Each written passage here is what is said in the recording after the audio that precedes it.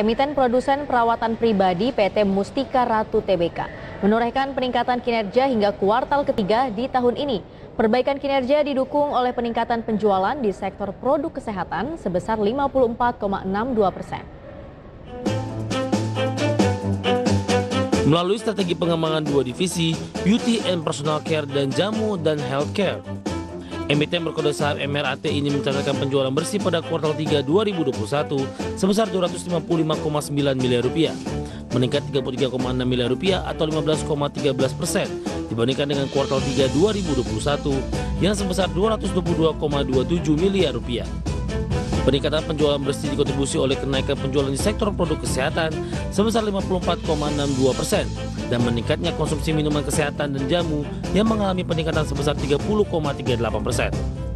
Sementara itu penjualan segmen kosmetik perseroan cetak turun 26,01 persen dari 35,9 miliar rupiah secara tahunan. Secara operasional perseroan peroleh laba usaha pada kuartal 3 2021 sebesar 7,26 miliar rupiah, meningkat 2,34 persen dibandingkan dengan kuartal 3 2020 sebesar 7,94 miliar rupiah. Adapun hingga September 2021, aset perseroan naik tipis menjadi 569 miliar rupiah dari 559,7 miliar rupiah di akhir Desember. Setelah itu total liabilitas MRAT turut mengalami peningkatan 3,98 persen dari 217,3 miliar rupiah di 31 Desember 2021. Berbagai sumber ada Channel.